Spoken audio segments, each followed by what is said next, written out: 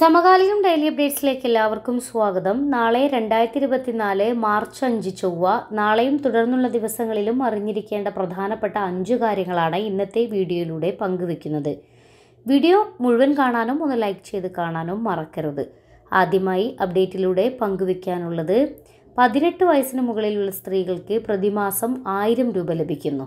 തെരഞ്ഞെടുപ്പ് മുന്നിൽ കണ്ട് നിർണായക നീക്കവുമായി രംഗത്തെത്തിയിരിക്കുകയാണ്. ദില്ലിയിലെ അരവിന്ദ് കെജ്രിവാൾ സർക്കാർ സംസ്ഥാനത്തെ സ്ത്രീകൾക്ക് മുഖ്യമന്ത്രി മഹിളാ സമ്മാൻ യോജനയിലൂടെ പ്രതിമാസം ആയിരം രൂപ നൽകുമെന്നാണ് ദില്ലി സർക്കാരിന്റെ പ്രഖ്യാപനം. ധനകാര്യമന്ത്രിയായ ആദിഷിയാണ് സ്ത്രീകൾക്ക് ആയിരം രൂപ വിതരണം ചെയ്യുന്ന പദ്ധതി പ്രഖ്യാപിച്ചിട്ടുള്ളത്. മന്ത്രിയുടെ കന്നി ബജറ്റ് പ്രസംഗത്തിലാണ് ഈ ഒരു പരാമർശം. പതിനെട്ട് വയസ്സിന് മുകളിലുള്ള സ്ത്രീകളാണ് പദ്ധതിയുടെ ഗുണഭോക്താക്കൾ. രണ്ടായിരത്തി ഇരുപത്തിനാല് ഇരുപത്തിയഞ്ച് സാമ്പത്തിക വർഷത്തിൽ പദ്ധതി നടപ്പിലാക്കുമെന്നും മന്ത്രി ആദിഷി അറിയിച്ചു. ഡെയിലി അപ്ഡേറ്റ്സിൽ രണ്ടാമതായി പങ്കുവയ്ക്കാനുള്ളത് സംസ്ഥാനത്ത് നാളെ വിദ്യാഭ്യാസ ബന്ദ്. ആഹ്വാനം ചെയ്ത് കെ സിദ്ധാർത്ഥിന്റെ മരണത്തിനെ തുടർന്ന് കെ എസ് യു വയനാട് ജില്ലാ പ്രസിഡന്റ് ഗൗതം ഗോകുൽദാസ് നടത്തിവന്ന നിരാഹാര സമരം തലസ്ഥാനത്തേക്ക് വ്യാപിച്ചിരിക്കുകയാണ്. നിലവിൽ പൂക്കോട് വെറ്റിനറി സർവകലാശാല ആസ്ഥാനത്തേക്ക് നടത്തിയ മാർച്ചിൽ നേതാക്കളെ മർദ്ദിച്ചതിൽ പ്രതിഷേധിച്ചാണ് നാളെ സംസ്ഥാന വ്യാപകമായി വിദ്യാഭ്യാസ ബന്ദിനെ കെ ആഹ്വാനം ചെയ്തിട്ടുള്ളത്. അതേസമയം എസ് എഫ് ഐ വിചാരണ കോടതികൾ പൂട്ടുക ഇടിമുറികൾ തകർക്കപ്പെടുക ഏകസംഘടനാവാദം അവസാനിപ്പിക്കുക തുടങ്ങിയ ആവശ്യങ്ങൾ ഉന്നയിച്ചാണ് കെ എസ് യു വെറ്റിനറി സർവകലാശാല ആസ്ഥാനത്തേക്ക് മാർച്ച് നടത്തിയിരുന്നത്.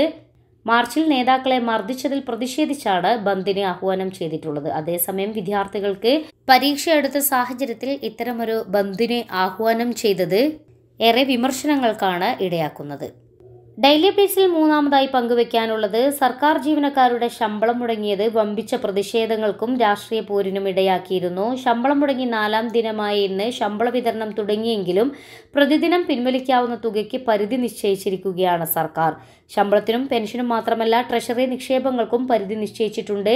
ഒരു ദിവസം പിൻവലിക്കാവുന്ന പരിധി അൻപതിനായിരമാണ്. ഒന്നും രണ്ടും പ്രവൃത്തി ദിവസം ശമ്പളം എത്തേണ്ടവർക്കാണ് ഇന്ന് ശമ്പളം കിട്ടിത്തുടങ്ങിയിട്ടുള്ളത്. സർക്കാർ ജീവനക്കാരുടെ ഇ ടി എസ് ബി അക്കൗണ്ടുകളിൽ നിന്ന് അതത് ബാങ്ക് അക്കൗണ്ടുകളിലേക്ക് പണം എത്തുന്നുണ്ട് മൂന്നാം പ്രവൃത്തി ദിനത്തിലും അതിനുശേഷവും ശമ്പളം കിട്ടുന്നവർക്ക് ആനുപാതികമായി ശമ്പളം ഇനിയും വൈകും. പ്രതിദിനം പിൻവലിക്കാനാകുക അയ്യായിരം രൂപ മാത്രമാണ്. ഒരുമിച്ച് പണം പിൻവലിക്കുമ്പോഴുണ്ടാകുന്ന സാങ്കേതിക തടസ്സം മറികടക്കാനുള്ള താൽക്കാലിക ക്രമീകരണമാണിതെന്നാണ് സർക്കാർ വിശദീകരണം. പക്ഷേ പണമില്ലാത്തത് തന്നെയാണ് പ്രധാന പ്രശ്നം. സാമ്പത്തിക വർഷാവസാനം ഓവർഡ്രാഫ്റ്റിലാകാതെ പരമാവധി ദിവസം ട്രഷറിയെ പിടിച്ചു നിർത്താനുള്ള ക്രമീകരണമായതുകൊണ്ട് ട്രഷറി ഇടപാടുകൾക്കും കർശന നിയന്ത്രണമാണ് സർക്കാർ ഏർപ്പെടുത്തിയിട്ടുള്ളത്. ഡെയിലി അപ്ഡേറ്റ്സിൽ നാലാമതായി പങ്കുവെക്കാനുള്ളത് കേന്ദ്ര സർക്കാരിന്റെ നിർദ്ദേശപ്രകാരം സംസ്ഥാനത്തെ മുഴുവൻ റേഷൻ കാർഡുകളിലെ മഞ്ഞ പിങ്ക് ഗുണഭോക്താക്കളെയും മസ്റ്ററിംഗ് വിധേയമാക്കുന്നതിനുള്ള നടപടി സംസ്ഥാന സർക്കാർ പൊതുവിതരണ ഉപഭോക്തൃകാര്യ വകുപ്പ് മുഖേന ആരംഭിച്ചു കഴിഞ്ഞു. സംസ്ഥാനത്തെ റേഷൻ ഷോപ്പുകൾ മുഖേനയാണ് മസ്റ്ററിംഗ് സാധ്യമാക്കുന്നത്. രണ്ടായിരത്തി ഇരുപത്തിനാല് മാർച്ച് പതിനെട്ട് വരെയാണ് സമയം.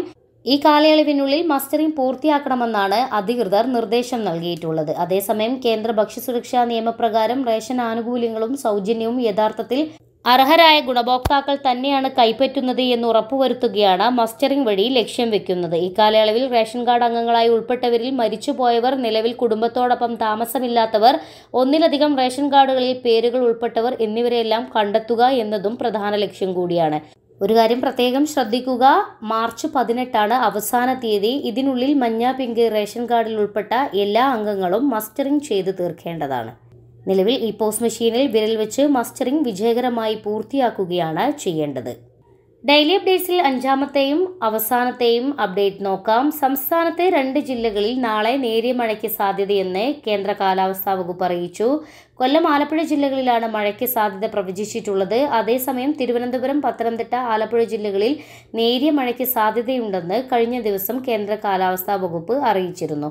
കേരള തീരത്തും തെക്കൻ തമിഴ്നാട് തീരത്തും ഇന്ന് രാത്രി പതിനൊന്ന് മുപ്പത് വരെ പൂജ്യം ദശാംശം അഞ്ച് മുതൽ ഒന്നേ ദശാംശം അഞ്ച് മീറ്റർ വരെ ഉയരത്തിൽ ഉയർന്ന തിരമാലയ്ക്കും കടലാക്രമണത്തിനും സാധ്യതയുണ്ടെന്നും ദേശീയ സമുദ്ര സ്ഥിതി പഠന ഗവേഷണ കേന്ദ്രവും അറിയിച്ചു.